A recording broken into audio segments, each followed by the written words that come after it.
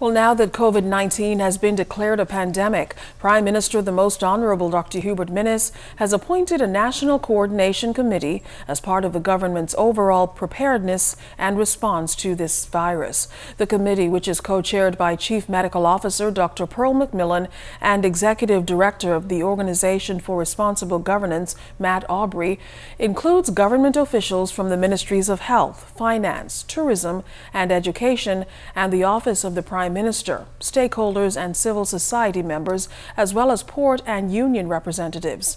According to a Cabinet Office release, in addition to serving as a coordination and steering committee, the NCC will also engage with the COVID-19 Multi-Governmental Agency Task Force to implement decisions of the government, recommend policies to the cabinet, and provide sector and society impact analysis and feedback to the government.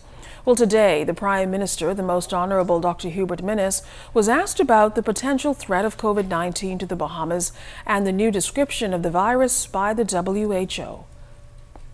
I was hoping that WHO would have done that um, some time ago. Um, of course, I have a, a um, cabinet meeting at 3 o'clock today, at which time I'd inform my um, cabinet colleagues um, what had transpired with respect to WHO, I'd talk to them about the meaning, etc., and moving forward. But um, I again reassure the Bahamian populace that there are no case of coronavirus um, recorded here, and they must continue with their normal life. However, um, still take all the necessary precautions.